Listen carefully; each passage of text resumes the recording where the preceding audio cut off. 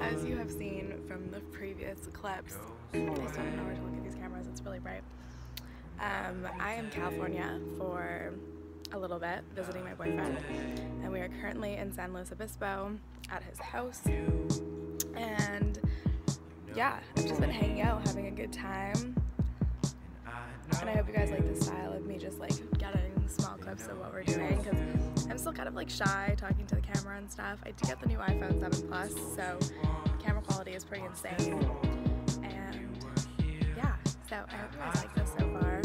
I may do a little bit more. I have still a bunch of trip left. We're going to San Francisco this weekend. Still have a whole week of time being here, so I thought I would just give you guys a little update of me talking. It's really bright. I think it's. Um, of kind of what I've been doing because I always wanted to do a California vlog for you guys, so that's so much better.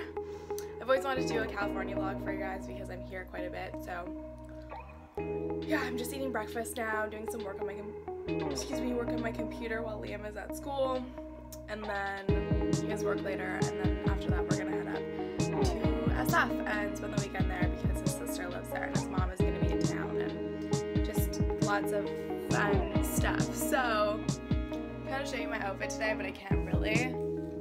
This top is from Brandy Melville, and I got these jeans actually from Urban. They're the from BDG. Um, they're really really cute, and I like them a lot. So I'm really excited that I got them because I tried them on actually